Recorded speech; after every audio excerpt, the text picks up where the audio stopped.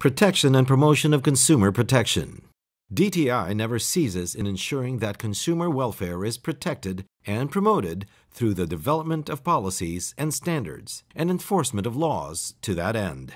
It continues to work on guaranteeing sufficient food supply at reasonable prices, safe and quality products in the market, and efficient resolution of consumer complaints. Strengthening product certification and testing.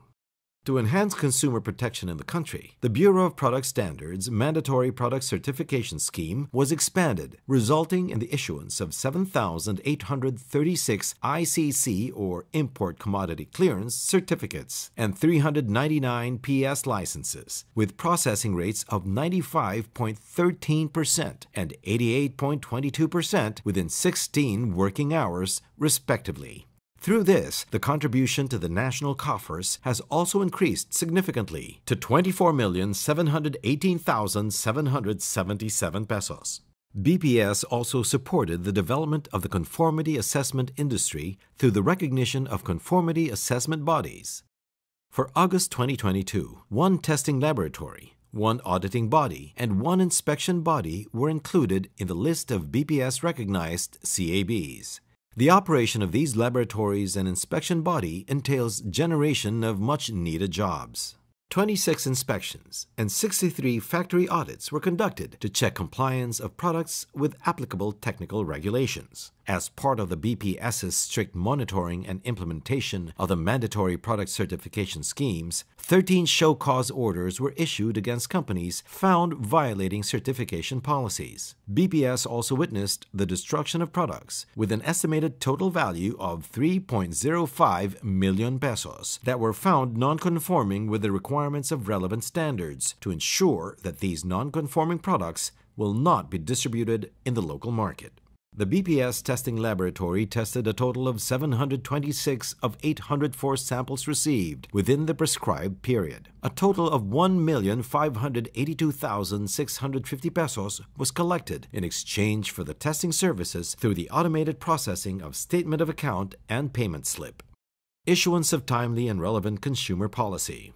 The DTI has issued and published the 12 August 2022 Suggested Retail Price Bulletins for basic necessities and prime commodities and school supplies due to the increasing prices of raw and packaging materials, production, and other logistical costs. 67 out of the 218 shelf keeping units in the SRP Bulletin of BNPC have price adjustments.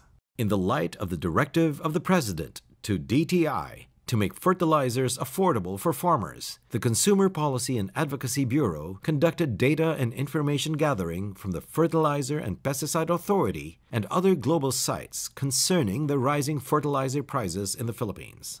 Intensifying consumer advocacy.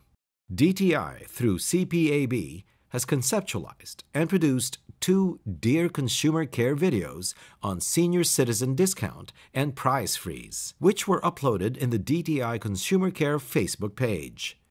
Moreover, the following topics were covered in the Consumer Care webinar series that were organized and hosted benefits and discounts for a person with disability, plans and programs on disaster risk reduction and management, nutrition in emergencies and its importance, livelihood disaster assistance program for MSMEs, response and relief operations during disasters for consumers. DTI has also continued airing Consumer at Iba Pa episodes in DZBB every Saturday from 9 a.m. to 10 a.m.